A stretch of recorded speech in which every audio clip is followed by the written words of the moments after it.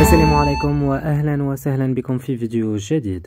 سنتعرف معا في هذا الفيديو على محتويات العلبة والسعر الرسمي الذي ينزل به ال Phantom X 2 Pro من شركة TECNO. هذا الهاتف الخيالي الذي أثار ضجة كبيرة في عالم الهواتف في الفترة الأخيرة.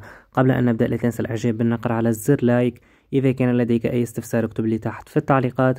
أما إذا كانت هذه أول مرة تشاهد قناتنا اشترك الآن وفعل زر الجرس لتكون متابع لآخر الأخبار. والتطورات التكنولوجية أولا بأول.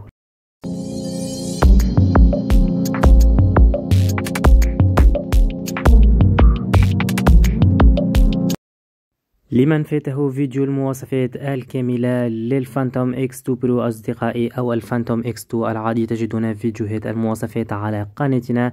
في هذا الفيديو سنركز فقط على محتويات علبة ال Phantom X 2 Pro والسعر الرسمي الذي ينزل به.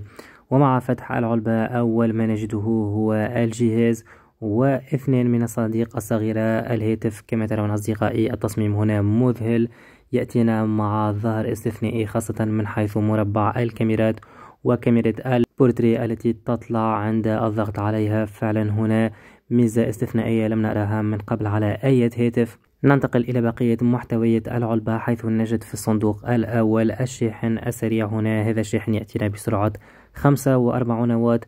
ليس أفضل شاحن في هذه الفئة السعرية التي ينزل بها الجهاز. من خلال هذا الشاحن تجربة الشحن من صفر إلى مئة بالمئة لل Phantom X 2 Pro. ستأخذ معنا 60 دقيقة ساعة من الزمن لشحن الهاتف. وبدون شك كيبل الشحن في الصندوق الثاني يأتينا من نوع بي Type C هذه هي كل محتويات علبة ال TECNO Phantom X 2 Pro.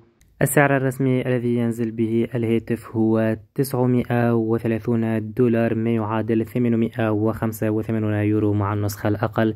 بالنسبة للدول العربية لدي فقط دولة السعودية الذي سينزل فيها الهاتف بسعر 3500 ريال سعودي. في انتظار بقية الدول العربية بالنسبة أصدقائي إلى رأيي في هذا الجهاز فعلا يقدم مواصفات ممتازة جدا لكن لا يستحق هذا السعر. يعني السعر هنا مبالغ فيه فقط التكنولوجيا التي نشاهدها في الكاميرات. هي مميزة وربما هي الشيء الذي جعل من هذا الجهاز بهذا الثمن. اكتبوا لنا آراءكم في التعليقات حول هذا ال Phantom X 2 Pro ولمن لا يعرف مواصفاته بإمكانك مشاهدة فيديو المواصفات الكاملة تجده على قناتنا. إلى هنا وصلنا إلى ختام هذا الفيديو. أشكركم على المتابعة. أتمنى أنكم استفدتم وأن الفيديو أعجبكم. في الختام لا تنسوا ال like subscribe وفعلوا زر الجرس ليصلكم كل جديد. أراكم في فيديو قادم. إلى اللقاء وشكرا.